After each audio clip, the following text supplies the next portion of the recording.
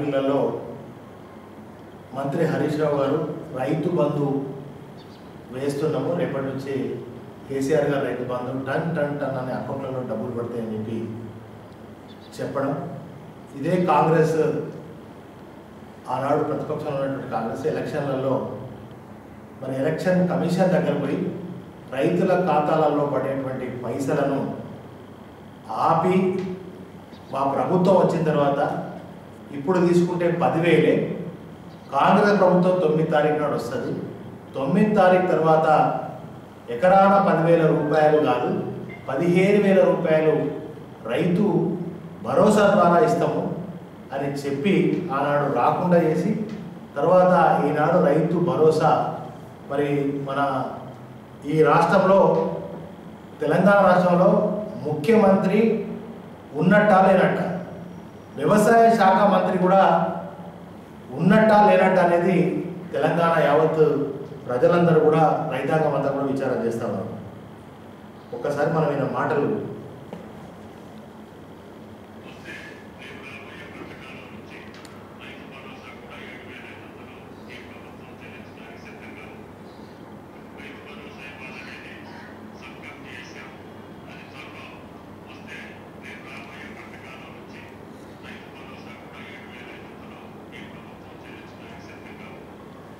ఇప్పుడు జూన్ మాసంలో ఎప్పుడైనా వానాకాలం పంట కంటే ముందు ఆరో నెలలో కేసీఆర్ గారు ప్రభుత్వం ఉన్నప్పుడు ఆరో మాసంలో నాట్లు పడక ముందు పెట్టుబడి సహాయం కింద రైతు బంధు వేసేటువంటి వాడు.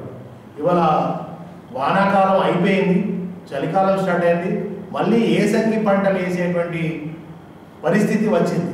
ఇటువంటి సందర్భంలో ఇక మేము ఇప్పుడు రైతు భరోసా ఇవ్వలేము. రైతు భరోసా ఇవ్వలేము. దీనికి ఒక సబ్ కమిటీ వేస్తాము సబ్ కమిటీ వేసినాము. ఈ సబ్ కమిటీ తీర్మానం చేసిన తర్వాత వచ్చే మరి ఏ సంఖ్య నుంచి మేము ఇస్తామని చెప్పి అలా మరి మంత్రి వ్యవసాయ శాఖ మంత్రి మాట్లాడు చాలా విడ్డూరంగా ఉంది. ఎందుకంటే ఎలక్షన్ల కంటే ముందు ఒక మాట ఎలక్షన్ల తర్వాత ఇంకొక మాట. ఆనాడు అబద్ధాలతో అబద్ధాలనేటువంటి హామీలతో అందరం ఎక్కింది కాంగ్రెస్ ప్రభుత్వం రేవంత్ రెడ్డి సర్కార్. ఇవాళ మళ్ళీ మాట తప్పి ఇప్పుడు వానాకాలం రైతు భరోసా ఇవ్వాల్సింది పోయి ఇది కూడా ఏం వీళ్ళకు కమిటీ చేస్తామని అన్నారు ఇలా రైతు భరోసా లేదు. మరి అదేవిధంగా రుణమాఫీ మేము కాగానే తొమ్మిదవ తారీఖే రుణమాఫీ చేస్తామని చెప్పి చెప్పడం జరిగింది. మరి ఇప్పటి వరకు కూడా రుణమాఫీ జరగలేదు పూర్తి చేసినామని ఒక మంత్రి అంటాడు. మరి ఇంకా సగమే అయిందని కొంతమంది కొంతమంది మంత్రులు మాట్లాడతారు. మరి ముఖ్యమంత్రి కూడా పూర్తి అయిపోయింది అంటాడు.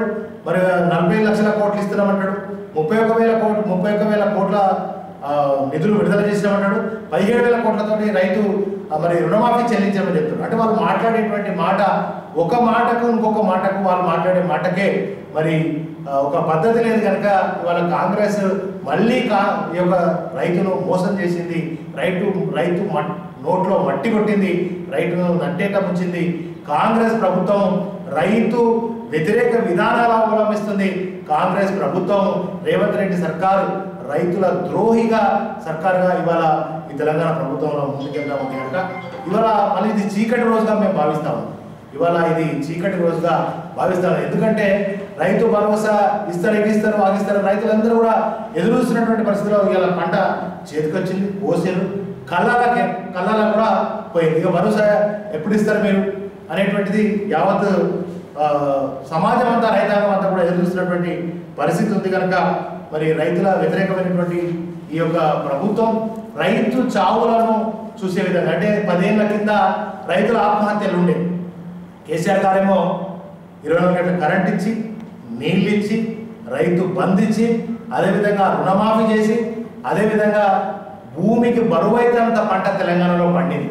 భూమికి బరువైతనంత పంట పండితే మరి ధాన్యాన్ని ఆనాడు కరోనా వచ్చినా కూడా కరోనా వచ్చినా కూడా ఆ కష్టకాలంలో రెండేళ్ళలో ఎవరికి కూడా రైతాంగానికి ఒక్క ఇబ్బంది జరగద్దని ప్రతి చివరి ధాన్యం గింజ కొనుగోలు చేసి రైతన్నకు అండగా ఉన్నది ఆనాడు సర్కార్. రైతులకు ద్రోహం చేస్తున్నది ఇలా కాంగ్రెస్ సర్కార్. ఆనాడు కంటిన్యూ నిద్రపోయిండు. మరి రైతన్న ఈనాడు కళ్ళమాట ఇవాళ మరి కన్న కళ్ళల్లో కన్నీళ్ళు వస్తున్నాయి. రైతన్న పరిస్థితి చూస్తే మళ్ళీ తిరిగి రైతన్న ఇవాళ నీళ్ళు లేవు. కరెంటు లేదు. అదేవిధంగా రైతు భరోసా లేదు. రుణమాఫీ అసలు అతి గతి లేదు. కనుక కేసీఆర్ గారు ప్రభుత్వం ఉన్నప్పుడు ఎంత గొప్పగా రైతుల ఖాతాల్లో టన్ టన్ టన్ అనే సీజన్ రాగానే ఎవ్వరు అడగక ముందు ఏ ప్రెస్ మీట్లు పెట్టేది కాదు. రైతన్న కూడా ఒకనాడు నోరు తెచ్చి మాకు రైతు బంధు వేయండి అని ఎవరు కూడా అడగలేదు రైతు బంధు వేయమనో రుణమాఫీ చేయమనో లేకపోతే రైతన్న చచ్చిపోతే దేశంలో ప్రపంచంలోనే ఐదు లక్షలు ఇచ్చినటువంటి ప్రభుత్వం ప్రపంచంలో ఎక్కలేదు కేవలం కేసీఆర్ గారి ప్రభుత్వం మాత్రమే ఇవాళ రైతు మరి బీమా ఇచ్చి ఆ కుటుంబానికి ఐదు లక్షలు ఇచ్చి ఆదుకున్నటువంటి ఈ ప్రభుత్వం కేసీఆర్ గారి ప్రభుత్వం. కానీ ఇక రేవంత్ రెడ్డి సర్కార్ వచ్చిన తర్వాత రైతు రైతు నడ్డి విరిచేయండి ఇది పక్కా మోసం. ఇది అన్యాయం. ఇది దగ. కనుక ఇవాళ కాంగ్రెస్ ప్రభుత్వం కాదు ఇది ఇది స్కామ్ ఈ యొక్క ప్రభుత్వం. కాంగ్రెస్ కాదు ఇది. స్కామ్ స్కామ్ చేస్తుంది ఇలా ఏది మూసీ నదిలో జరుగుతున్నటువంటి అది చూస్తే ఇలా ఇంత రైతులు అరికోస పడతా అంటే రైతు భరోసా రాక ఇబ్బంది పడతా అంటే ఆయన వేల కోట్లు ఎక్కడికి మన ఢిల్లీకి పంపించడం కోసం చేసే ప్రయత్నాలు చేస్తున్నాడు తప్ప రైతులను పట్టే పట్టించుకున్నటువంటి పాపం చేస్తున్నాడు. ఇలా బట్టే బాధ రేవంత్ రెడ్డి సీఎం అని నేను చెప్పు చెప్తా ఉన్నా మీ అందరికీ కూడా. నిజంగా బట్టే బాధ ఒక్క మాట అంటే ఒక్క మాట. ఆరు గ్యారంటీలు చెప్పాడు. ఒక్క గ్యారంటీ అని ఇప్పటి వరకు అమలైందా? రైతుల మోసం చేస్తే విద్యార్థులను మోసం చేస్తేవి మహిళలను మోసం చేస్తేవి తులం బంగారం వంటివి ఇరవై ఐదు వందలు వంటివి. ఒక్కడంటే ఒక్కటి కూడా ఇవాళ చేయలేదు కదా రైతులకు మోసం చేస్తున్నటువంటి ఈ యొక్క కాంగ్రెస్ గవర్నమెంట్. ఇప్పటికైనా బుద్ధి తెచ్చుకొని ఇప్పటికైనా వెంటనే రైతు భరోసా చెల్లించాలి. ఇంకొక గొప్ప మరి కేసీఆర్ గారు అన్నాడు రైతులకు అండకుండా ధాన్యాన్ని ఎంత పండినా కూడా మరి దేశానికి అన్నం పెట్టే స్థాయిలో తెలంగాణ తీసుకొచ్చిందన్నాడు కానీ ఇవాళ ధాన్యం కొనుగోలు సెంటర్లు ఇప్పటి వరకు కూడా జగిత్యాల జిల్లాలో ఒక్క సెంటర్ కూడా ప్రారంభం కాలేదు. గతంలో ముఖ్యమంత్రి గారు కేసీఆర్ గారు రివ్యూ పెట్టేది అందరితో మంత్రులతో ఎమ్మెల్యేలతో.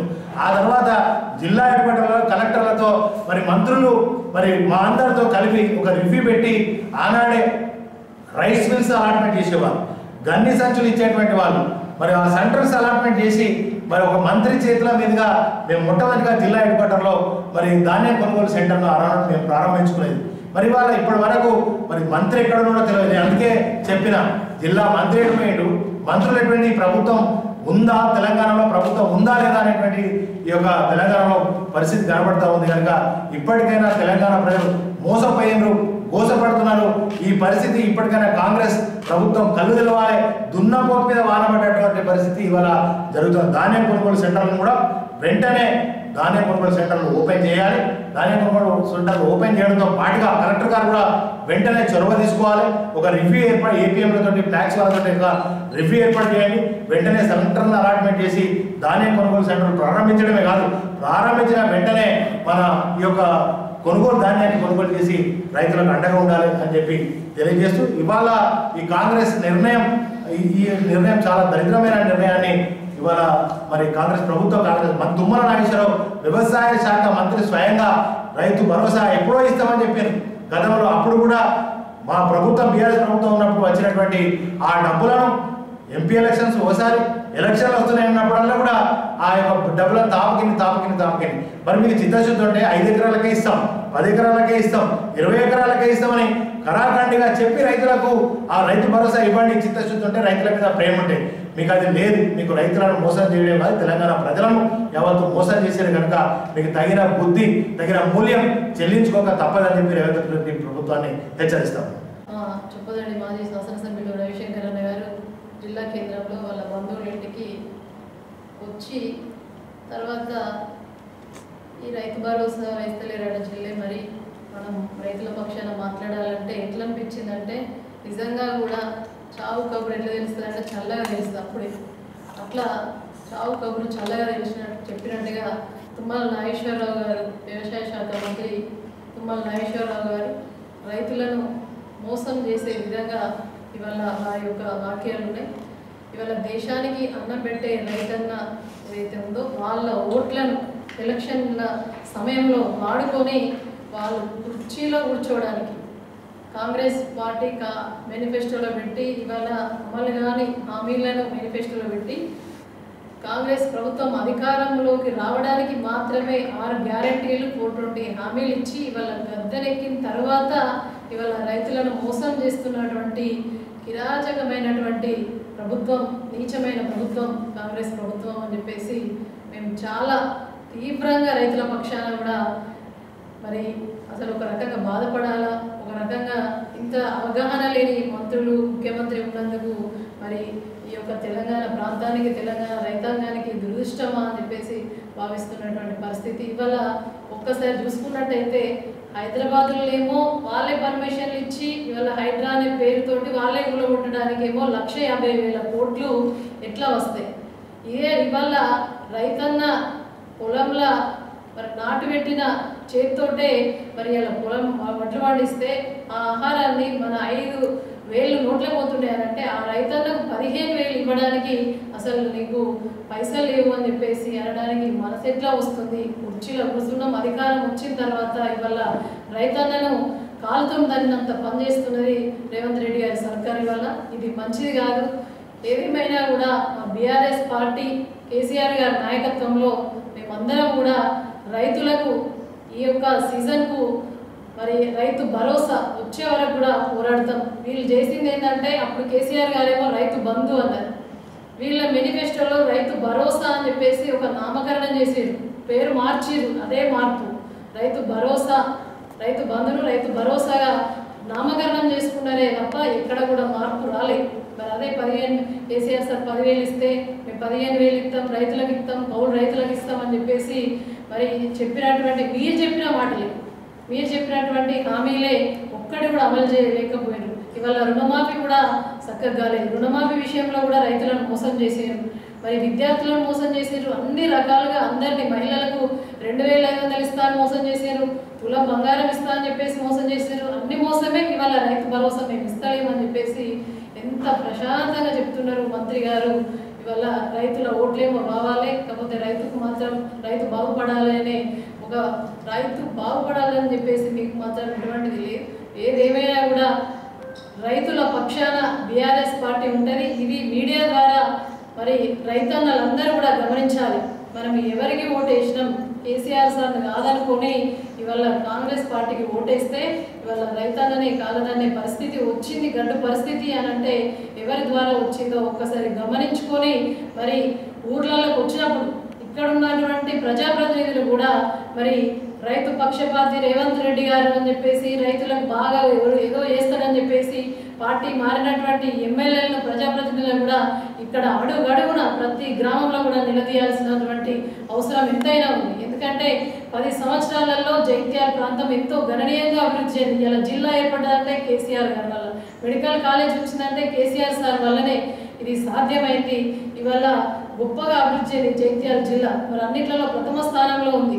ఇది కాదని ఇక్కడ ఉన్నటువంటి ఎమ్మెల్యే గారు మరి రైతు పక్షపాతి రైతులకు అన్ని రకాలుగా చేస్తాడని చెప్పేసి వెళ్ళినటువంటి ఎమ్మెల్యే గారిని ప్రజాప్రతినిధులను మా జైత్యాల జిల్లాలో ఉన్నటువంటి మరి ఎవరైతే కాంగ్రెస్ నాయకులు హామీలు ఇచ్చి తప్పుడు హామీలు ఇచ్చి ఇవాళ రైతు భరోసా ఇవ్వలేదని చెప్తున్నారో మరి ప్రజలందరూ రైతన్నలందరూ ఊరు ఊరున కూడా నిలదీయాలని చెప్పేసి మీ అందరి పక్షాన రైతన్నలందరి పక్షాన కూడా మరి బీఆర్ఎస్ పార్టీ పక్షాన మేమందరం కూడా మీకు అండగా ఉంటాం.